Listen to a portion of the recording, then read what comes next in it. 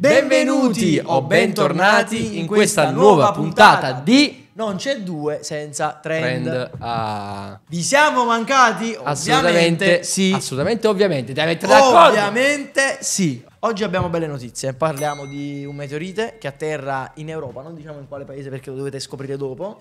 Questa era Vegeta, in realtà non era un meteorite. Poi abbiamo eh, un portale tra due mondi. E poi. E No, poi non lo tra scop- due mondi, che magari poi sì, c'è aspettative incredibili. Un portale, un, portale, portale, un portale. E dopo ci arriviamo. Il resto lo scoprirete dopo. E ditemi qua sotto nei commenti già adesso se vi piace il mio bracciale di Balenciaga. No, non ci scrivete questo, più che altro se non l'avete ancora fatto lasciate like, iscrivetevi al canale se è la prima volta che arrivate qui su Twitch e seguiteci sui social perché gli mettiamo delle clip estratti, curiosità e tutto quanto. Andiamo alle notizie. Ciao. Siete e sei una persona pigra?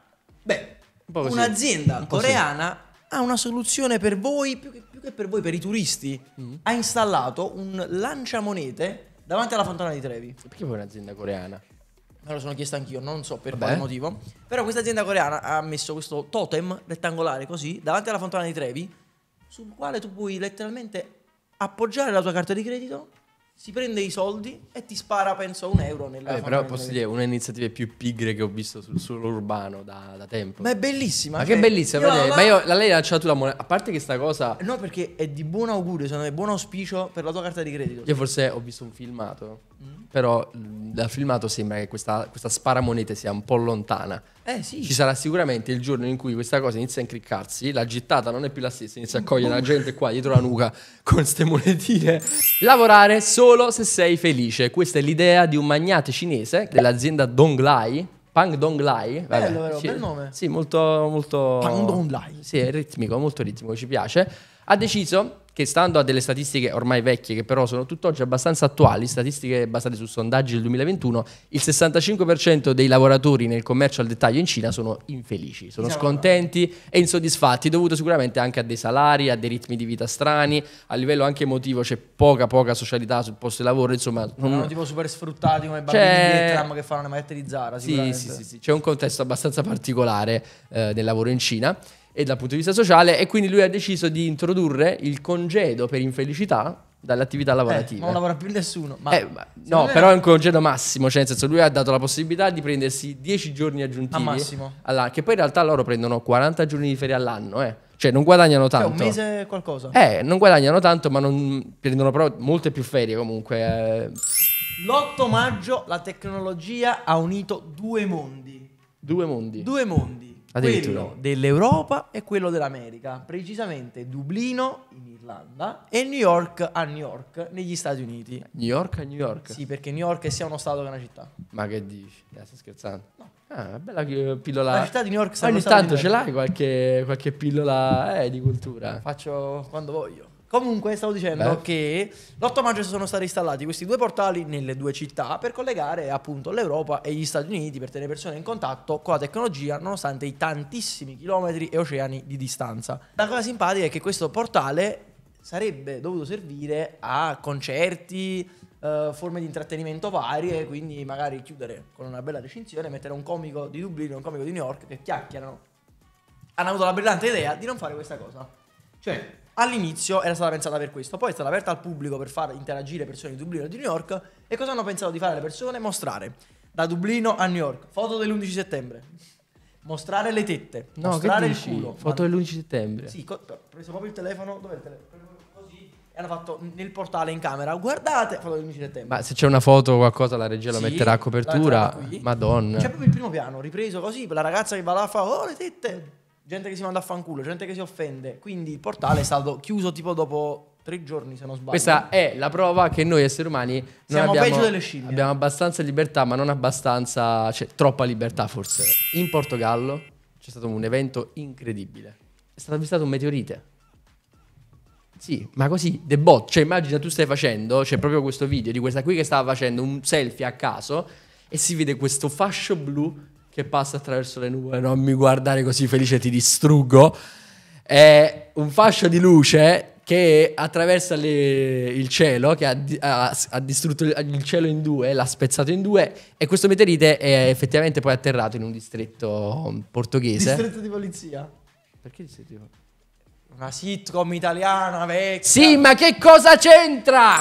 Gli attivisti di ultima generazione, ragazzi, hanno rotto il cazzo un'altra volta. Bello, di ultima generazione. Sì. Tipo gli iPhone, perché? Sì, perché sono quelli più recenti, capito? Quelli più giovani. Quelli sì, l'avanguardia. Quelli diciamo. più stupidi. Vabbè, comunque, tipo quelli come Maria Sofia Federico, come cazzo si chiama? Quella che Sì. stava al collegio. Vabbè. Sì. Sostanzialmente cosa hanno fatto questi coglioni? Sono andati in giro per le strade di Roma a imbrattare negozi, le nego- vetrine dei negozi di fashion. Capisco essere. che negli anni 90, ai primi anni 2000 c'erano le pellicce che dicevano ah, contro eh, siamo animalisti, non dovete uccidere gli animali e fare le pellicce. Ok, ma in questo caso, cioè, inquinano per il fashion, tutto il discorso fatto in Cina, bambini sfruttati che lanciano la- i vestiti, capi d'abbigliamento. Ok, raga, però ci rotto le palle. Cioè, Questa ma- è una cosa forse un po' unpopular. Cioè, il paradosso di questo paese, piccola parentesi un po' pesante, ma cioè, tieni conto che vengono manganellati i ragazzi che vanno a protestare, che ne hanno anche il diritto delle scuole, e questi qui vengono semplicemente arrestati. Dovrebbe essere invertito, finché non fanno capire che questa cosa ha delle conseguenze serie, Esatto, no, che non sia il semplice fermo d'arresto, il fermo di 24 ore, 48 ore, quelle cose là.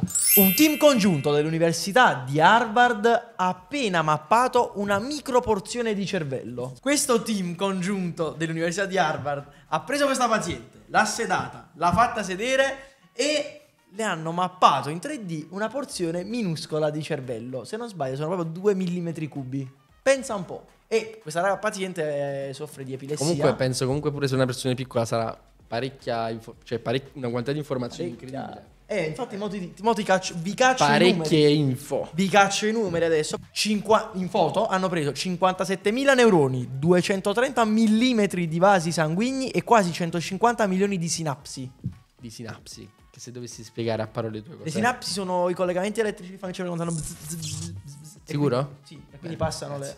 Ecco la sua laurea in microbiologia cerebrale. E quindi è quando passano le informazioni da punto A a punto B fanno bzz, bzz, così proprio. Bzz, bzz. Esatto. Ah, e questa cosa è tipo pazzesca. Cioè, raga, possiamo mappare il cervello, una cosa mai fatta finora. Mhm. Proprio i meandri del nostro cervello. Possiamo scoprire come funzionano i ragionamenti, cosa- come funzionano i ricordi. Il perché tu ti mangi le parole? Eh, cioè. e ora, ragazzi, i nuovi rimasti.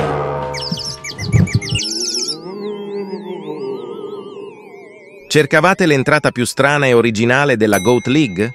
Beh, l'ha fatta il rosso. Godetevi questo spettacolo. Attenzione!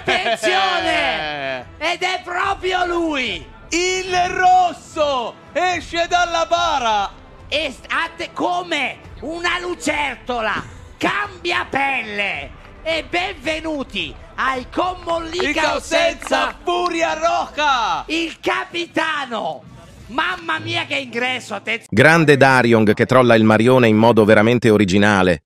Eh, ma tendono a farlo. Ligma? Il ligma, sì. Cosa vorrebbe dire? Lick my balls! Ah, ti hanno fatto l'assist per fare questa- questo giochino dell'asilo. Ho capito, ho capito, ho capito, ho capito, ho capito. Google Traduttore. Un vocabolario. Nah, ci pensa Ciccio a tradurci tutto ciò che non capiamo in inglese? Più o meno. They would not give her for you give the into the, end the people of the lands uh, vabbè verso le 9.30 molti anni dopo eh, delle persone Qualcuno mi spieghi come sia passato Jerry Scotti dall'essere uno dei migliori conduttori televisivi all'essere il cringe in persona.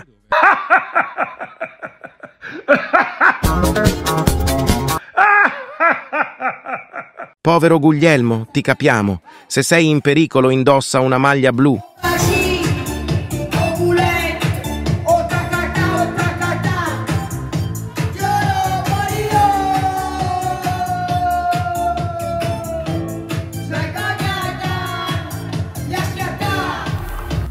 Mamma mia, tante, sì, ma manco io lunedì mattina sto così. Cioè, tutto è bene. Ma un'emozione. Io capisco. Vabbè, non abbiamo niente contro l'idea di crescenza, No, però... però... tu, madre, dovessi prima. Conoscere i gusti di tuo figlio. Mamma e penso sa- di tua figlia, eh, sarà la capisci. sorellina quella che... Madonna, sa- povero, povero figlio. Bentornati nel nostro angolo tech. Questa settimana abbiamo una notizia, però simpatica, che si attuerà prossimamente riguardo i nostri utilizzatori di iPhone, i nostri iOS users. Tu non lo sei, io per fortuna Grazie sì. a Dio no. No, grazie a Dio io lo sono. E da giugno, dal Ragazzi, 10 datemi giugno, una ringa che gliela chiavo in faccia. vestito da, tra l'altro sei vestito da logo Android, non so, ci avete fatto caso. Siri avrà delle funzionalità effettivamente simili a quelle di ChatGPT, diventando a tutti gli effetti non più un assistente vocale, ma una IA, agirà esattamente come ChatGPT, quindi ci saranno delle funzionalità in più. Prima agiva da script, quindi ti diceva soltanto che ore sono, che tempo fa oggi. Invece adesso non perde il contesto e Vai. soprattutto iPhone, dato che sono ovviamente persone intelligenti, come ovvio Vai, che tre- sia, 3.000 dollari. l'hanno introdotto direttamente eh, in locale, quindi sul dispositivo e non dovranno farlo, dovrai accedervi come a ChatGPT tramite web. Vai. Il che è costo computazionale ridotto perché non dovranno avere niente online, niente in cloud, ma è tutto sulla macchina e tutela anche la privacy. E anche questa settimana noi vi ringraziamo per la compagnia. Se siete arrivati a questo punto del video, No. Commentate. Ci salutiamo con- già. Sì, purtroppo. Ci sì. vediamo settimana prossima. Commentate con Vegeta Papaya. E diteci punto del video. 15 e 18 quanto fa qui sotto nei commenti. Ma perché a caso così? Non sei un uomo di cultura. No, no, sono un uomo di cultura, ma non ha senso metterlo qua, non Ah, c'entra ok, questo ok, ok. meme. Comunque commentate e lasciate like, iscrivetevi al canale se non l'avete già fatto. Andateci a seguire su altri profili su Instagram, TikTok. TikTok non c'è due senza trend, profilo dedicato, mi, Mi raccomando, ci vediamo venerdì prossimo. E per oggi è tutto ragazzi. Arrivederci e grazie. Forza Napoli sempre.